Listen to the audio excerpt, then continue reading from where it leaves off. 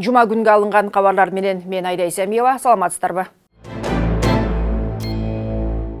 Кечээ укмк абагынан бошотулган адахан мадумаров мандатынан ажыратылды. Чечимди борбордук шайлоо комиссиясы кабыл алды. Бүтүн кыргызстандын лидеринин иши боюнча биринчи май райондук сотунун өкүмү бшкга бүгүн түшүп мандат маселесин кароого негиз болгон добушка коюлат добуш берсеңиздер ким бегматов макул гайпулов макул Наспеков макул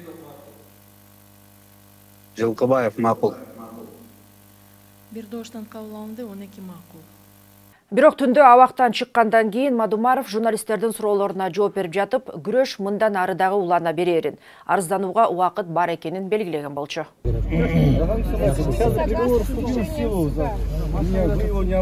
Теперь как будете? Мы посмотрим. Есть, есть, есть еще срок. Есть еще время. Мы это посмотрим, мы это обсудим со своими адвокатами, посоветуемся и будем действовать дальше. В соответствии с законодательством, в соответствии с законодательством дается 30 дней со дня получения э, приговора. А я приговор получил 16 апреля на руки. Так что все еще впереди.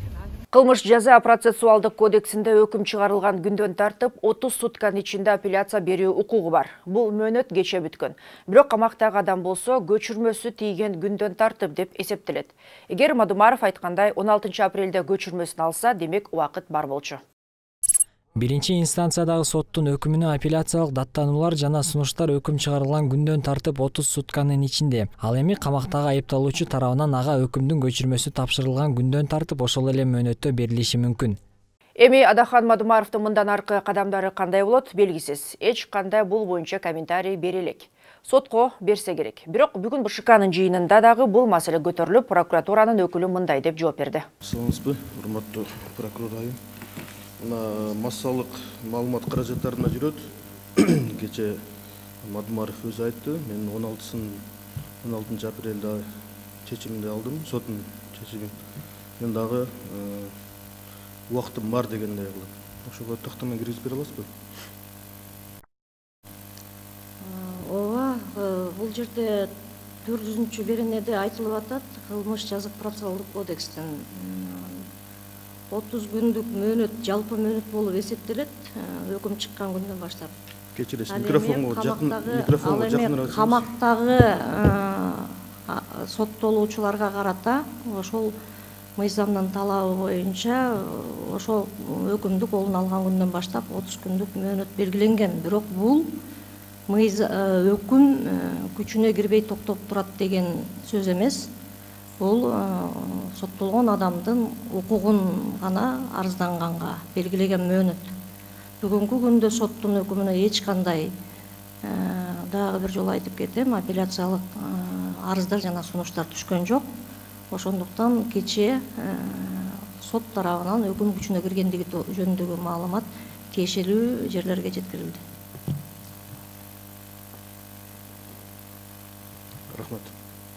Дагы суроолор тактоо иретинде бир сүрөт суроо ошол мадумаров кечээкү интервьюсунда да айтып кетти мен дагы он беш күндүк убактым бар мен дагы арыз жазышым мүмкүн ошол арыз жаза турган болсо даттануу арызын ошол каралабы арызы ошол боюнча маалымат берсеңиз мыйзамдын боюнча арыздануу арыздануу өкүмгө ошол кайсыл сот чыгарса ошол жерге берилет ал арызды кабыл алабы же кандай негиздер менен же кабыл албайбы аны сот чечет кабыл алган өкүмдү кечээ өз сөзүндө мадумаров сегиз айда ийненин учуна илине турган эч нерсе табышкан жок деп мунун баары дал ушул мандаттын айынан болуп жатканын айткан ар бир нерсе өзүнүн орду менен болуш керек. Мен айтып атпаймынбы мына ушул сегиз айдан берки ар бир жасалып аткан кыймыл аракеттердин баардыгы кыргызстанды дүйнөгө маскара кылып бүттү кыргызстанда конституциянын жок экендигин кыргызстанда мыйзамдардын жок экендигин далилдеп койду иссиз эле мандат маселеси биздин мандат аллага шүгүр ушул мына ушул болуп аткан нерселердин баары ушу мандат үчүн болуп атат да көрүп атасыңар да. Ошол үчүн гана болуп атат да. Башка маселеси жок биз күрөшүп келгенбиз биз соңку демибиз чыкканча күрөшө беребиз ошол кудай кааласа кудай кааласа баардыгы жакшылык болсун Эске сала кетсек, райондук сот Адахан Мадумаровду бийлигинен аша чабуу жана алдамчылык беренелери менен күнөөлүү деп таап, мөөнөтү эскирип кеткенине байланыштуу жаза колдонбоо чечими чыккан. Мындай чечим юриспруденциянын тарыхында болгон эмес деп, ананда дагы бир ай камакта калтыруу мыйзамсыз деп, анын фракциялашы Исхак Масалиев парламентте маселе көтөргөн. эки кылмыш боюнча адахан мадумаров күнөөлүү деп табып бирок мөөнөтү өтүп кеткенге байланыштуу жазасыны койгон эмес. Ушундай чечим болот юриспруденцияда. Ушул жерде биз башынан айтканбыз. Мөөнөтү өтүп кеткен кылмыш болгон күндө деле кыскартыш керек болчу козгобош керек болчу кыл- кылмыш ишти. Ал эми тарыхта юриспруденцияда сот практикасында биринчи жолу болуп атат. Күнөөлүү бирок жаза колдонбойбуз деген. Андай болбойт. Бул эч кандай юридический илимге туш келбейт да.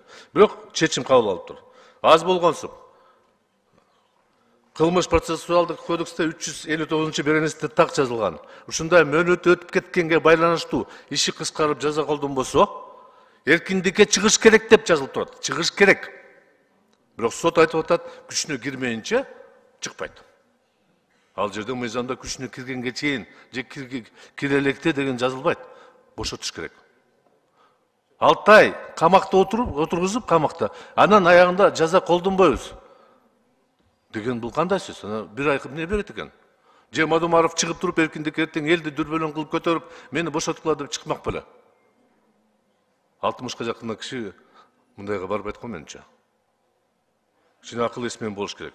Анан ошол сот эми орозо кармайт имиш кандай орозо болот экен мен билбейм ушул мыйзамды так жазылган кара менен акка жазылган мыйзамды сот окуган эмес аткарган эмес. Демек бул сыйлабагандык бийликти сыйлабагандык мыйзамды сыйлабагандыгы урматтуу кесиптештер көпчүлүгүбүз ушул жерде отургандар юридикалык бөлүмгө тиешебиз бар. Билимге дипломдорубуз бар тажрыйбабыз бар.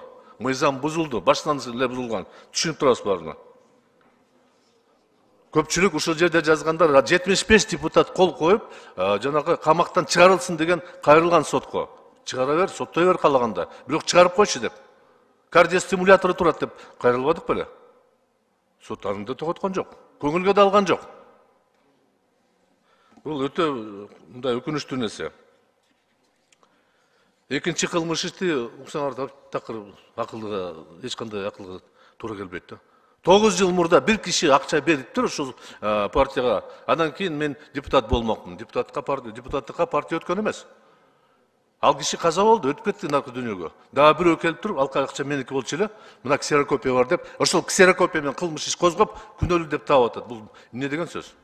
Адахан Мадумаров өткөн жылы сентябрда УКМК тарабынан кармалган. Ага Кыргыз Тажик чек арасына байланыштуу протокол боюнча мамлекеттик чыккынчылык жана шайлоо учурунда талапкерден 50 миң доллар алган деген айып менен алдамчылык беренеси коюлган.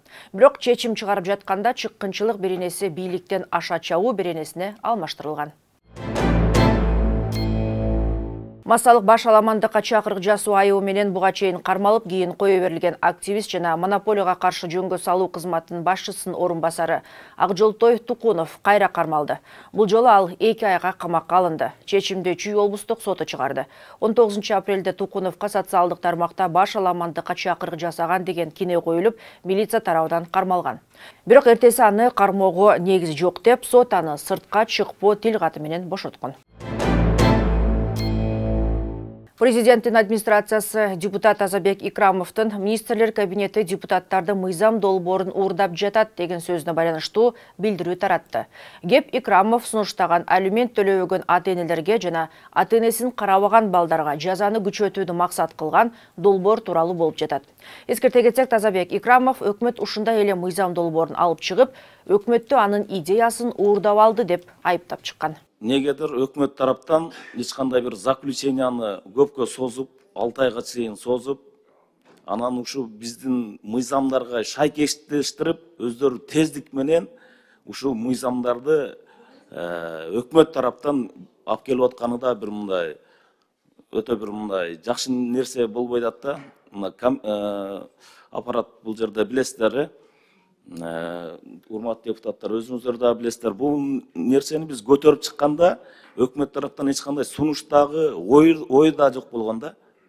Именно биздин мыйзамдарды ушунчалык бир алты айга чейин кармап заключение бербей ошонун ичинде ортосунда биздин мыйзамдарды мындайча айтканда уурдап алып келип аткан бул өкмөт үчүн уят нерсе болуш керек. Анан келип алыптыр бул жерде окшошуп калды анан шайкеш келип калды туура эмес деген дагы бул өтө мындан наркысын айтып атам өкмөт өкмөттүн ошо заключение берген жеринде ошо өкмөттө иштеп аткандар буга чейинки ушу чийки мыйзамдарды эгерде өзүңүздөр толук кандуу иштеп алып чыккыла эгерде болбосо депутат көтөрүп чыккан мыйзамды ортосунан ушундай нерселерди жасагандан кичине уялгыла да. Президенттің маалымат кызматы депутаттың бул айыптоосун четке кагып, өкмөттүн мыйзамы аныкынан айырмаланып турарын белгиледи. Министрлер кабинети демилгелеген мыйзам долбоору менен жогорку кеңештин депутаттары демилгелеген мыйзам долбоору бири-бирине окшош эмес жана олуттуу айырмачылыктарга ээ. Ошону менен бирге министрлер кабинети демилгелеген мыйзам долбоорунда депутаттар демилгелеген мыйзам долбоорунан айырмаланып, балдарын кароодон качкан ата-энелерге катуу жаза каралган. Ушуну менен чыгарылышты жыйынтыктайм. Саламатта туруңуздар.